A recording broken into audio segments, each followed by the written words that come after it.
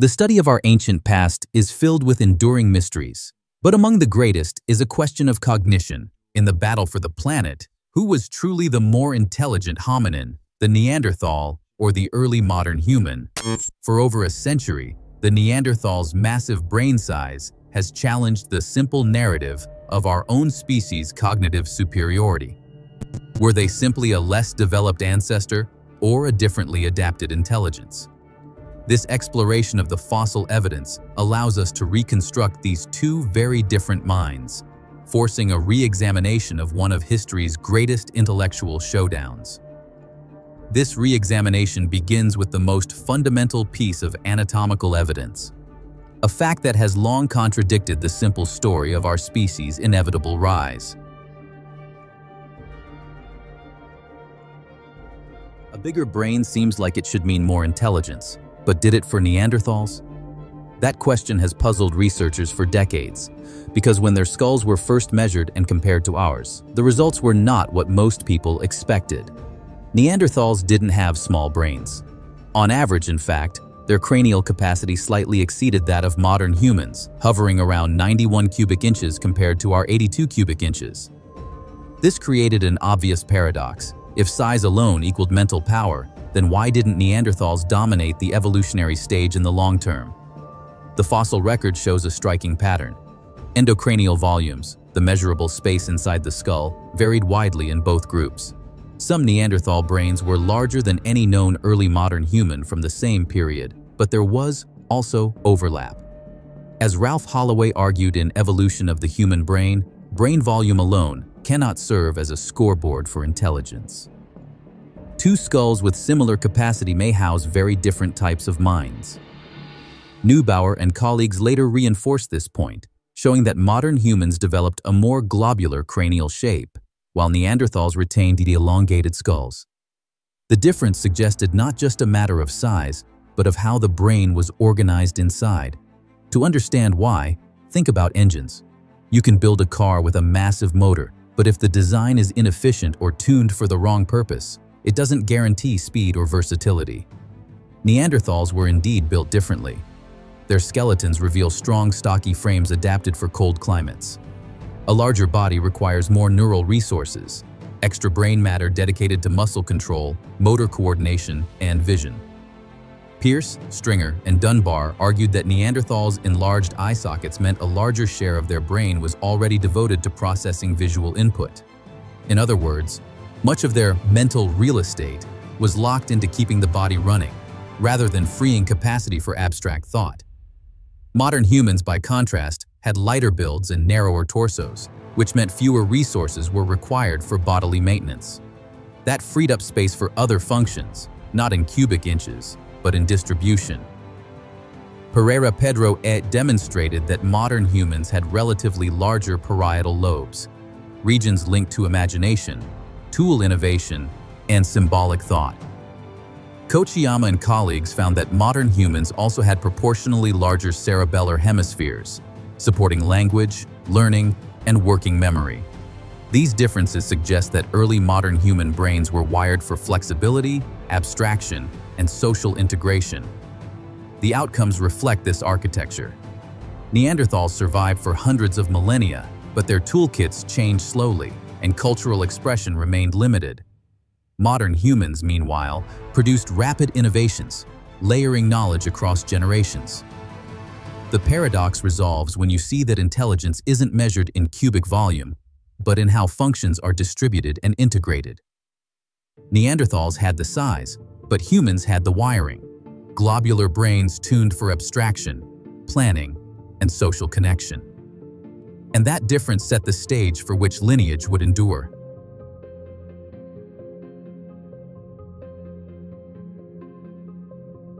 Imagine two skulls resting side by side. One is long and slightly flattened in profile, while the other appears rounder, almost ballooned out along the sides and back. This difference in shape, elongated versus globular, may have made all the difference between a species that endures only in the fossil record and one that spread across every continent.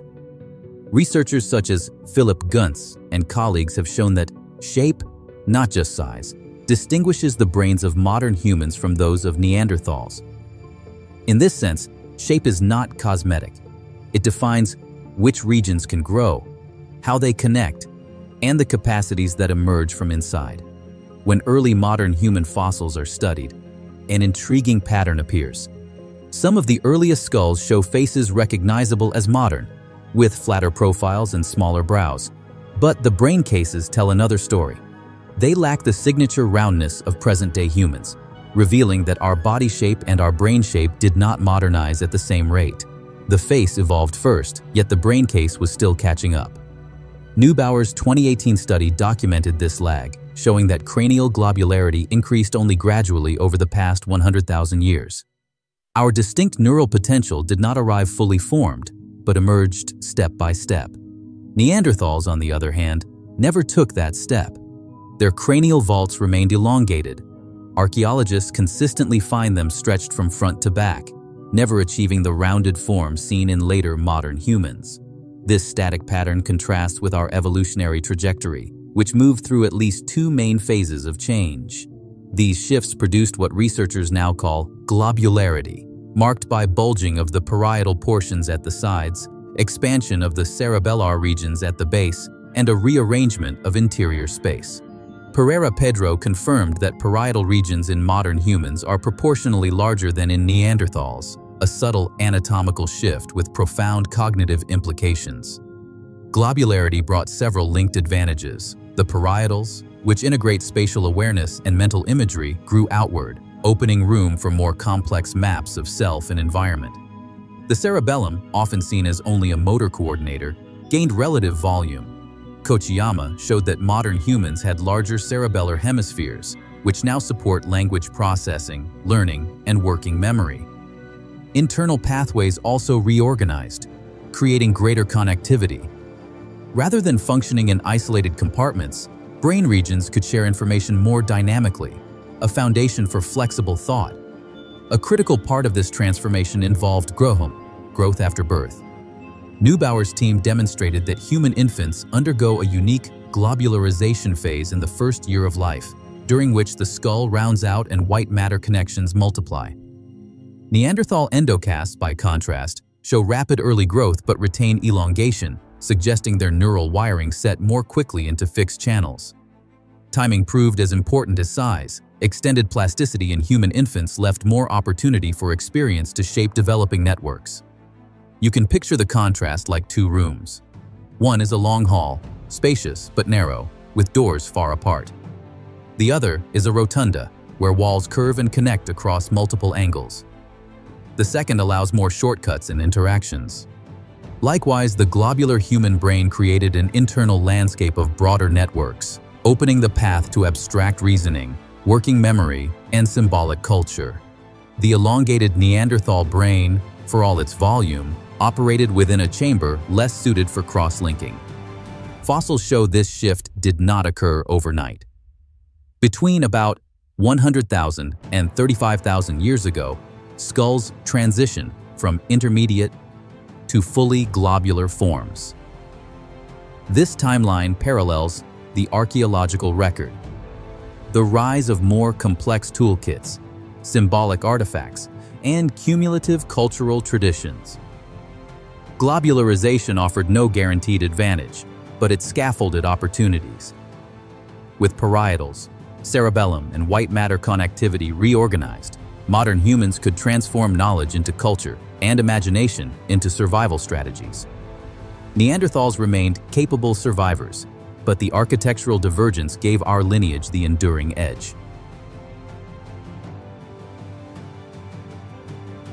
What if the secret to language, memory, and planning lay in two hidden brain regions Neanderthals never fully expanded? The clue sits in the parietal lobes and the cerebellum, areas not as obvious as the massive frontal forehead arc we usually picture when we think of intelligence, but no less decisive.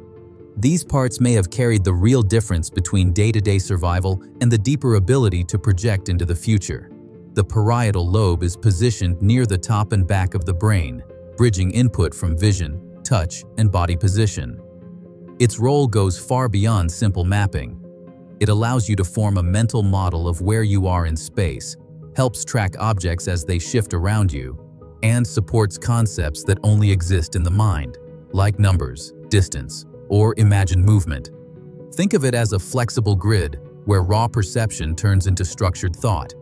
Humans show a particular bulging in this region, with landmarks called the angular and supramarginal gyri projecting more prominently than in Neanderthal skulls. These expansions are linked with advanced visuospatial reasoning and abstract integration. When someone envisions a tool before making it, or pictures a hunt unfolding in several steps before acting, the parietals come online. For modern humans, this expansion opened the possibility of placing oneself not just inside a present situation, but inside an imagined one. Neanderthals, with less developed parietal areas, probably managed their world in a more immediate, practical way. For example, consider stone tools. Both species could chip and shape rock, but humans seem to have refined smaller, more standardized blades. Crafting precision tools requires an ability to visualize symmetrical forms and execute fine adjustments, guided by mental templates, skills strongly tied to parietal processing. The same region also handles symbolic manipulation, something like numbers. While Neanderthals likely had a sense of quantity, the abstract layering we associate with counting systems would have drawn heavily on this expanded parietal capacity. Another outlet of this region is self-representation. Humans construct intricate models of the self in relation to others, even imagining how they might look through another's eyes. That perspective shifting, essential to advanced social behaviors and language, connects to the angular gyrus in ways that Neanderthal anatomy does not appear to match. The difference in size, subtle on the skull surface, plays out in the scope of cognition it allows. But the parietals were not the only decisive region. The cerebellum, tucked beneath the back of the brain, provided another upgrade. Traditionally, it was associated only with balance and smooth movement. Yet modern studies show it handles far more. It fine-tunes sequences, regulates timing, and supports learning patterns, all of which matter for speech, memory, and even abstract thought. Without well-tuned sequences, fluent language falls apart. Here lies one of the most striking contrasts. Despite their large overall brains, Neanderthals had proportionally smaller cerebellar regions. This suggests that while they managed motor control well enough, they likely carried less capacity for the kind of layered reprocessing that language and cultural ritual demand. Executive functions, working memory, shifting attention, adapting to changing tasks, depend heavily on cerebellar support. Humans with expanded cerebellums could juggle more ideas in the mind at once, keep them updated, and reorganize them when plans shifted. To add to this, genetic evidence points to regulatory differences affecting how neural circuits formed. Mutations linked with modern humans influence how cortical layers and language networks develop. One well-known example is regulatory variation around the FOXP2 gene, which plays a role in speech and motor sequencing. While both Neanderthals and humans carried FOXP2, the surrounding control elements in our lineage seem to have driven more flexible expression. That subtle genetic change likely added fine-tuning to speech rhythms and learning abilities, capacities that could make or break communication over distance or across generations. When you put these details together, the pattern sharpens. Early modern humans were not simply inheritors of a slightly larger thought engine. Their brain regions were tuned differently, parietals spaced for abstraction and self-models, a cerebellum geared to sequences and symbols, and supporting genes that refined learning potential. These differences created a neural package optimized to imagine, plan, and unify knowledge through culture. That distinct combination opened the door for symbolic language, long-term maps of memory, and the ability to plot several steps ahead. Neanderthals were intelligent, skilled, and capable, but their brains emphasized different strengths. They had size, resilience, and focus. Humans had shape, coordination, and cross-linking. With size, shape, and regions weighed against each other, the next question lingers. Were humans truly smarter by every measure, or were they simply better adapted to the kind of world that rewarded networks and symbols over sheer strength of mind?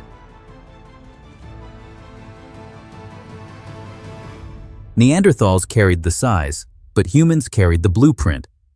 Structure, shape, and in timing came together in a way that changed cognition itself. Our species gained a rounded brain case, expanded parietals, and a more active cerebellum, and those details added up to networks capable of linking thought across domains. Smarter, then, is not just raw capacity. The edge lies in linking abilities together, tools with symbols, memory with planning, speech with imagination. So how do you define intelligence? Sharper isolated skills, or a brain wired for connection? Let us know in the comments what you think made us truly distinct.